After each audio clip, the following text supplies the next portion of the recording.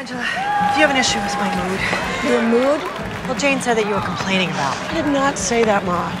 Look, sweetheart, we're worried about you.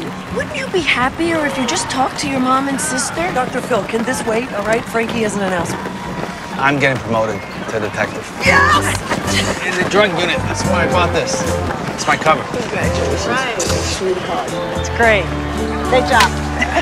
Well, at least you get to go undercover as a biker instead of a prostitute. It wasn't my idea. Did it cut out suddenly? Yeah. How'd you know? Electrical.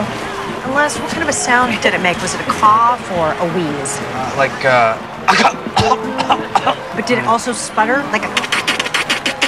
No, it was more like cut, cut, cut, cut,